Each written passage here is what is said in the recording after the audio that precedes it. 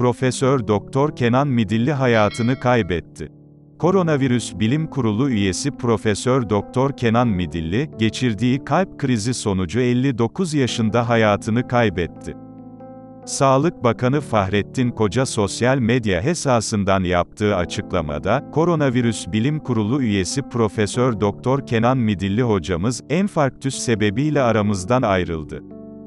Genç yaşında vefatı bizlerde salgında kaybettiğimiz hekimlerin yaşattığı duygulara benzer duygular uyandırdı. Allah rahmet etsin, başımız sağ olsun. Şükranlarımızla hocam, dedi.